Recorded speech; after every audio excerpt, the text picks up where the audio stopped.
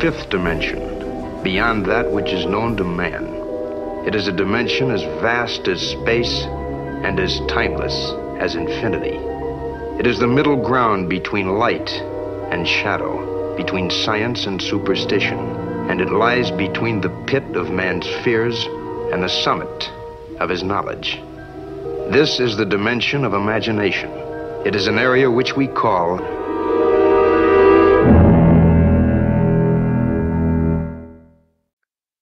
Hello, once again, everybody, and welcome back to Power Director Made Simple.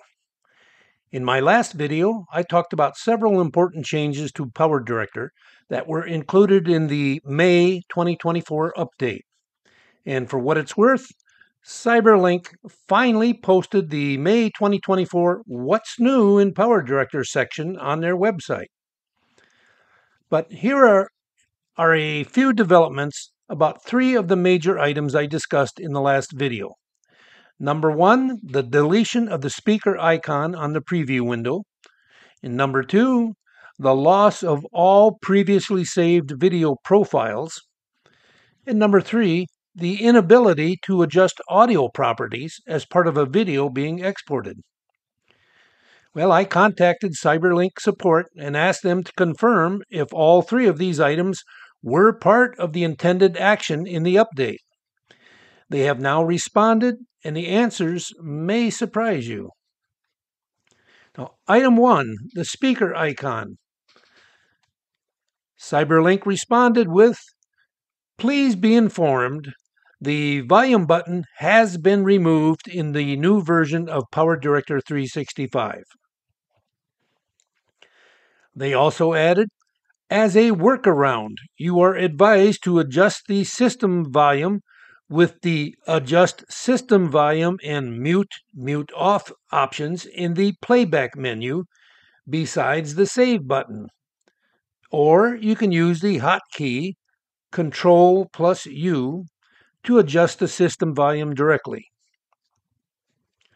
Well, here's what that really looks like from within Power Director. I'm going to click on the music track 1983 just to preview it from the list of Cyberlink's background music. Now, if it plays too loud, I'm going to go to the menu Playback and select Adjust System Volume.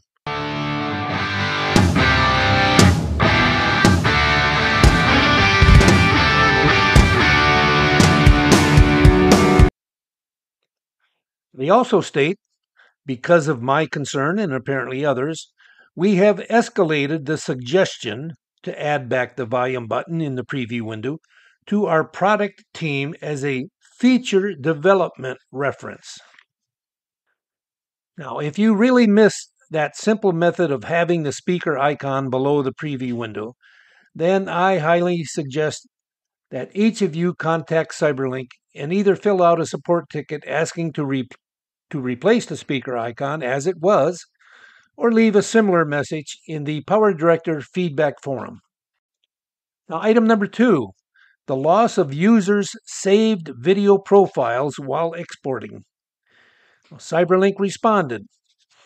After pilot checking, we have reproduced the same condition on the testing platform. This case has been escalated to the engineering team for further investigation. Now, I don't know what they mean by pilot testing, but it sounds a lot like beta testing, which is being done after the update has been released to the public. Yes, this means that you are effectively the beta testers. So item number three the lack of adjustment of audio properties for exported video. Cyberlink responded we advise you to switch to the custom profile in the produce page. Select Edit Profile, the memo icon, to open the Quality Profile Setup dialog and modify the audio settings in the aforementioned dialog. Now I've tested it and it works. First, make sure that you are using the format and the codec appropriate for the new custom profile. For example, note that I am using MP4 and H.264, which are the most commonly used settings. I'm going to click on Custom Profile as advised by Cyberlink. And I am advised that there are no custom profiles. I am asked if I would like to save the current setting as a new profile. Now, you should know that using one of the recommended settings gives you a starting place to modify and create your real custom profile. So I'm going to click Yes and enter a file name. For this demo, I'll just keep the suggested name of Custom Profile 1 and click OK. Now, alternatively, in order to create your custom profile, you could have just clicked on Save Profile and it will take you right to the same window of entering a name such as Custom Profile 1. Now notice down at the bottom the resultant file size is about 10 megabytes. If I were to exit the export window and then click the blue export button once again, notice that in addition to the recommended settings, I can now click on custom profile and under the profile names, I have only that one named custom profile 1. So far, a custom profile is now saved but it has the same settings as the original recommended settings.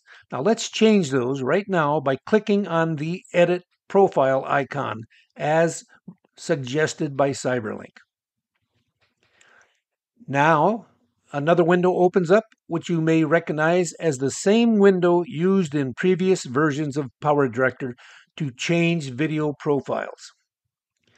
I'm going to click on the Video tab and change the average bit rate to the maximum of 60,000 kilobits per second, and then click OK. Notice the resultant file size is now about 72 megabytes. If I want to change any of the audio parameters, I'll click on the Edit icon again and select the Audio tab. The original recommended values were using the highest possible bit rate of 384 kilobits per second using a lossy compression technique of advanced audio coding or AAC. Now, maybe I want to use a lossless compression such as linear pulse code modulation. So I'll choose LPCM and click on OK. Notice the file size went up slightly to just over 73 megabytes. In order to keep all of these changes as part of Custom Profile 1, I need to click on Save Profile. Now, whenever I come back to this custom profile in the future, those extreme high bit rate and audio compression settings will be part of the profile. These new parameters should also be in the description for each profile. As it stands right now, our custom profile 1 has the same description as the standard recommended profile. I can change that now by clicking again on the edit icon and entering whatever I want, such as a setting for Aunt Mary's DVDs or whatever. Now, for now, I'm just going to enter MPEG-4, H.264, 60K bitrate, and LPCM audio as the description. It would be nice if Cyberlink allowed one to change the name of a profile, but once you click on OK for a profile name, you can never change it. In this case, my custom profile will always be called Custom Profile 1. So, there you have it. Of those three major concerns from the May update, Cyberlink will think about changing the speaker icon back to the way it was. They will admit that the loss of previously saved profiles is a bug and the ability to change audio parameters must be done by first creating a custom profile and then editing that profile.